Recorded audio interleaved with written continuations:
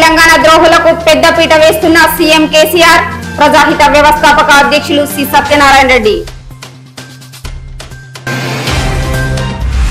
పెద్దపల్లిలో ఎన్ఎస్యుఐ ఆధ్వర్యంలో ప్రధాని నరేంద్ర మోడీ దిష్టిబొమ్మ దగ్ధం రాహుల్ గాంధీ పార్లమెంట్ సభ్యత్వం రద్దు చేయడం పట్ల నిరసన.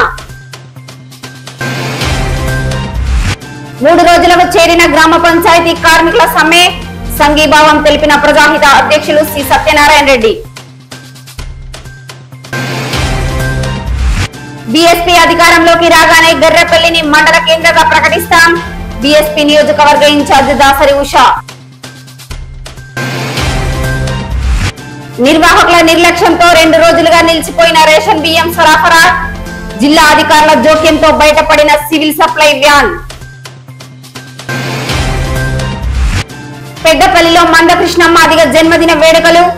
ఎంఆర్పిఎస్ను స్థాపించి మాదిగల ఆత్మగౌరవాన్ని చాటి చెప్పారన్న ఇర్ల సురేందర్. పెద్దపల్లికి చేరిన సుమారావు మిస్లీ దంపతుల పాదయాత్ర స్వాగతం పలికి సన్మానించిన బీఆర్ఎస్ శ్రేణులు. శాంతినగర్లో lions club of Peddapalli elite ఆధ్వర్యంలో కూరగాయల మొక్కల పంపిణీ అరవిందో కాకతీయ పాఠశాలలో చిత్రలేఖన పోటీలు.